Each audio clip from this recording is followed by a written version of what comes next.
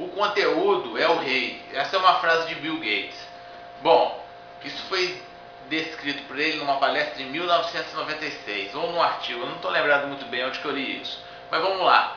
É, por que eu estou falando que o conteúdo é o rei? Aliás, eu falei não, Bill Gates, tá? Então eu cito a fonte. É, vamos citar o exemplo do YouTube. Bom, como o YouTube cresceu de forma estrondosa, tá? Nesses últimos anos.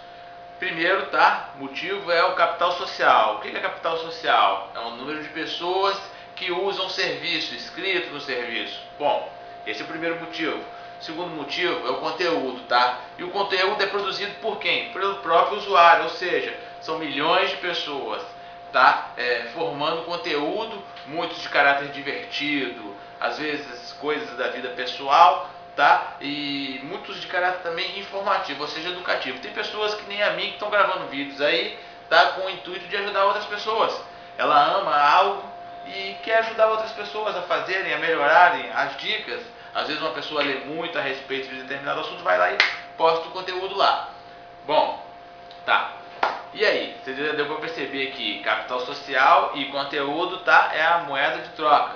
Ou seja, quanto mais gente usando, maior número de pessoas, mais gente querendo patrocinar e mais dinheiro. Então, ou seja, quanto mais pessoas cadastradas usando aquele seu site ali diariamente, melhor para você que está criando um negócio, ou sei lá, um site, ou vídeos, não sei, tá? Depende da finalidade do seu negócio. O que, que você imagina? Só cabe uma regra aqui que deve ser lembrada, tá? É, o capital social só é formado graças ao conteúdo.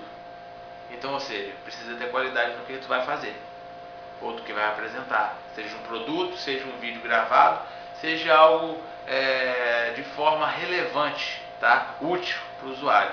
O conteúdo traz o capital social. Minha dica então é fique esperto, se inscreve aí no meu canal Fique Esperto, tá? É, posta um comentário que dependendo é, da dúvida ou se quiser também postar uma reclamação ou se quiser também clicar em não gostei, pode clicar. Assim serve de parâmetro até mesmo para me melhorar. E se eu puder, dentro da minha capacidade intelectual, eu posto um vídeo também. Minha dica é fique esperto.